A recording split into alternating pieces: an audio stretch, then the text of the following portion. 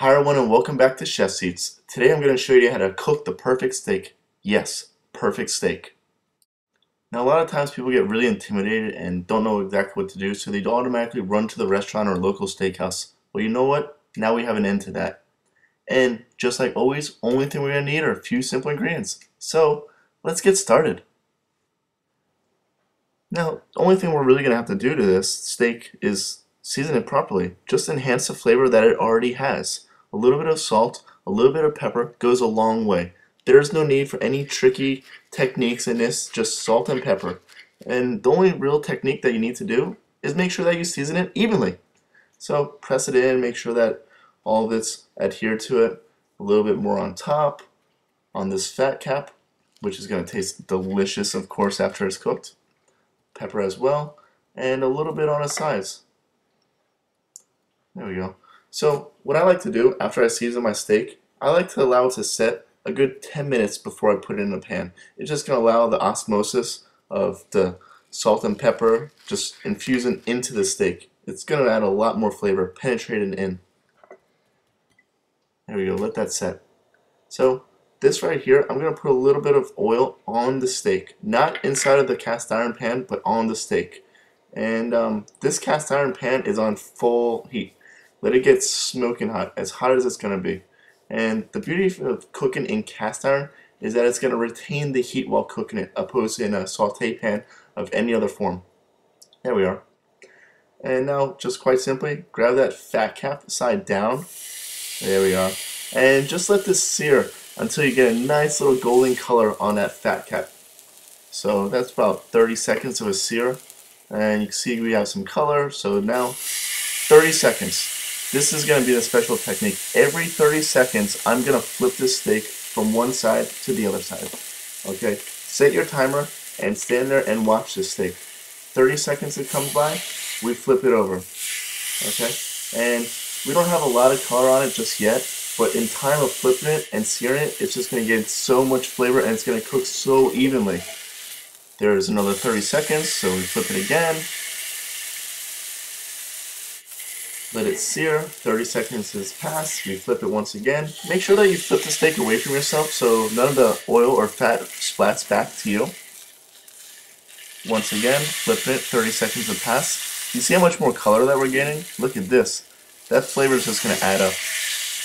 Nice. Now the beauty of cooking it and flipping it every 30 seconds is the fact that it's going to cook it so evenly. It's so, so even. So right now the top is resting while the bottom's searing. And then this is just going to give it enough time so that when we flip it over, the same thing is going to happen all over again. It's a nice even rotation of the heat.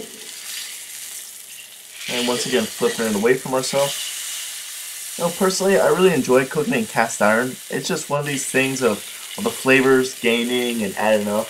And look at that color on top of that. There's talking about flavor. And the most amazing thing about cooking in cast iron is the fact that I can just hand it down from generation to generation. Now that this steak is ready, it's a one pound steak, cooked me about 8 minutes of flipping. Let's just toss some garlic cloves in there.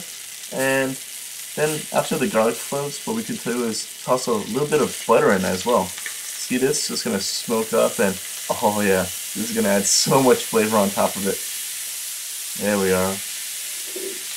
So now, this steak is pretty much done cooking. We're just going to add this butter to cook a little bit of this garlic and just infuse a little bit more flavor into it. So, once again, salt, pepper, steak, butter, a little bit of garlic, and if you have any herbs right now, feel free to toss them in at the moment. You know, parsley, thyme, rosemary, it'll all add up. And just baste it a few times. And since the steak cooked took me 8 minutes to cook, I'm going to allow it to rest 4 minutes. So whatever your cooking time is, allow the steak to rest half of that cooking time so that all the juices can relax and add into it. There we are. Now that our perfect steak is resting, what I like to do is make a compound butter. And what this is going to consist of is equal parts room temperature butter and Boursin cheese. So once again, if you guys haven't had Boursin cheese, put that on your bucket list. It's amazing. It's going to add a really nice roasted garlic, goat cheese, sour cream flavor to it. I think you're really going to enjoy it. It's honestly one of my favorites. and just quite simply give this a nice little mix together and there we have it. It's just too easy, isn't it? Alright, now that we have this set aside, our steak is all cut, let's plate it up.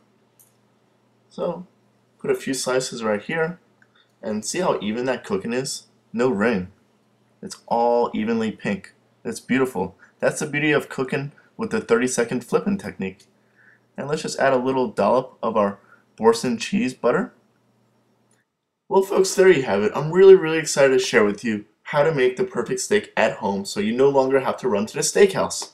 Here's the recipe as following, and I'm really excited to hear how all your steaks turned out, and give me some feedback. Let me know if you have another technique. Thanks for watching, and don't forget to like and subscribe.